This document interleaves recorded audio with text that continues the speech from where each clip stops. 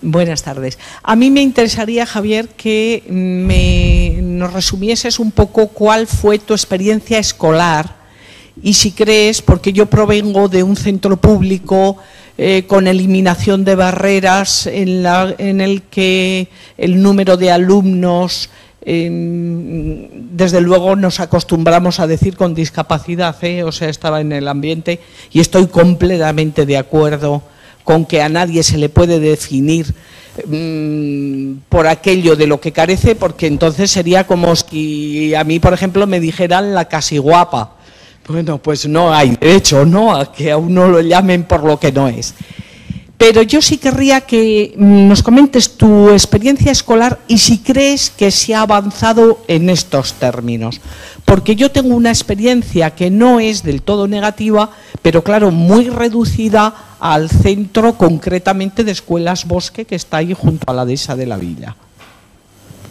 Entonces, me alegro de que me haga esa pregunta. Se acepta la pregunta, muy bien, muy profesional. Porque yo no estaba cuando preguntaron eso. Es decir, la realidad es que yo no tuve ningún problema en la escolarización de ningún tipo porque yo caminaba como un señor, era un ciudadano de primera entonces. Con lo cual, yo tuve el accidente cuando tenía 28 años, con lo cual ya había superado todas las barreras ya de golpe, o sea, tuve el momento oportuno, ya esperas a terminar la carrera, te pones a Sí, curar pero, y- pero no seas tan listo, pero luego has ido a colegio y has visto qué, qué pasa, ¿no? Sí, lo que pasa es que eh, opinar sobre una realidad ajena es bastante complicado. Yo sé lo que pasa, sé que a la gente se la discrimina en las escuelas, sé que no se las deja pasar, sé que ocurren cosas tan curiosas como que eh, te ponen clases en un aula a la que no puedes acceder y dices, cámbiala de aula y no te la cambian. O sea, yo sé que la escuela sigue siendo plenamente discriminatoria, lo que digo es que yo no lo he vivido en carne propia. ¿no? Entonces, yo, eh, afortunadamente para mí, eh, viví como ciudadano de primera hasta los 28 y luego de los 28 hasta aquí ya he sido ciudadano de segunda. Al principio íbamos a traer un ponente que era desde la infancia, te salía carísimo, entonces hemos traído a este, que como de- ha tenido una infancia bien, pues es más barato. O sea, porque es que, claro, traer a un tío en toda regla, pues es que salía, era un presupuesto para ICAD enorme. Entonces, pues está este que ni chicha ni limonada, que al final ha disfrutado 28 años. Es que si se queja de balde, es que yo este, es el típico, típico, eh, mi, mi, mi, que todo le parece mal. Eh, con lo cual puedo hablar de, de oídas.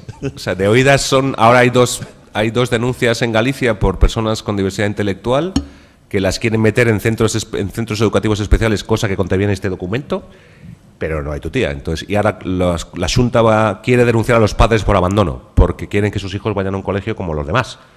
¿vale? Y eso, ¿a quién se le ocurre? Entonces, ¿qué hacemos con los colegios especiales estos? Sí, y yo, por ejemplo, yo no conozco muchos casos, pero conozco uno concreto nada más, y por eso me refiero a él. Eh, es de colegio privado, no es de colegio público, y es de colegio privado porque es un niño que viene en idiomas de serie, porque su familia no son de aquí, entonces tenían que meterlo en un colegio que hablara inglés mientras ellos temporalmente están en España. Y es un niño que viene en silla de ruedas, pequeñito, tendrá nueve años quizá, cuando esto empezaba tenía ocho o siete, y ellos, los padres, el colegio lo admitió, pero el colegio no tenía infraestructura para el niño. Entonces los padres que tenían dinero y con el apoyo de, de alguna otra gente tuvieron que pagar que se hiciera rampa en el colegio y tuvimos, bueno, tuvieron que pagar, o los que ayudamos, eh, financiamos a que la ruta escolar se hiciera para que subiera silla, porque tampoco lo tenían, ¿no? Pero claro, eso es una chapuza, no eso es un sistema, ¿no? Esto No, es un niño que tenía suerte, que sus padres tenían dinero y cuatro pringados de al lado le han prestado algo. Pero si no, ese niño no hubiera ido en Madrid al colegio, eh, en idiomas. A lo mejor en un colegio público especie, eh, podía ser, pero el caso Casi de seguro que chaval no tampoco. valía para nada. No, el problema es que estamos acostumbrados a esta famosa solidaridad, ¿no? Esto de yo te ayudo, cuando en vez de cumplir la ley. Pero esto abarca toda la administración pública, es decir, eh, primero tienen que leérsela y después cumplirla. Y luego cuando van a cumplir dices, es que no tenemos dinero. Dicen, no, no, a ver, no tenemos dinero, no, dinero hay, lo que pasa es que te lo estás gastando en otras cosas. Entonces, en el sistema educativo español esto ocurre todos los días. Hay discriminación permanente por ser diferente. Claro, pero yo, eh, fíjate, no tiene que ver con lo vuestro, pero sí que tiene que ver con la generalidad y da la impresión de que en este país todavía, ojalá algún día lo haya, o a lo mejor lo había antes y se ha quitado, que no lo sé ya porque no estaba, eh, un sentido de sociedad, ¿no? Quiero decir, estereotipando un poco el tema, porque siempre todos son estereotipos, la idea general aquí es a ver si me toca la lotería y me voy del barrio este que es una mierda, en lugar de a ver cómo arreglamos este barrio para que sea más agradable. Entonces, esa falta de sentido de comunidad es lo que hace que no haya una presión social en casos concretos, como que decir que en, un- en, otro entorno, a lo mejor ocurre el caso del niño este y tal, y a lo mejor es el propio colegio, los propios padres de los colegios, los propios alumnos, los que tal, que dicen que hay que coger a este y obligan a la administración, a quien sea, que ponga ahí la historia, ¿no? Pero efectivamente es un, es un, vivimos en una sociedad en la que es más individualista, es más tonto el último, ¿no?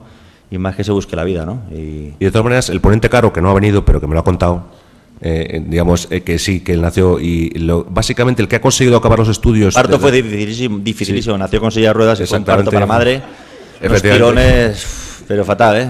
Casi casi hubo que hacer cesárea, porque es que era, venía la rueda de lado y Y horrible. esta, esta persona que ahora tiene una titulación superior y está en su segunda carrera, eh, siempre eh, son los eh, MacGyver o los Supermanes, ¿no? los que han conseguido sobrevivir a viento y marea, eh, se han subido a brazos de no sé quién para que les llevara, cuando hacían la universidad les subían entre cuatro compañeros de universidad para arriba, luego para subirse en el autobús se subían ahí con el conductor que se bajaba, etcétera, etcétera. ¿no? Entonces, eh, sí que ha llegado gente a estudiar, pero siempre han sido los supervivientes, ¿no? los supervivientes de un sistema completamente agresivo y discriminatorio.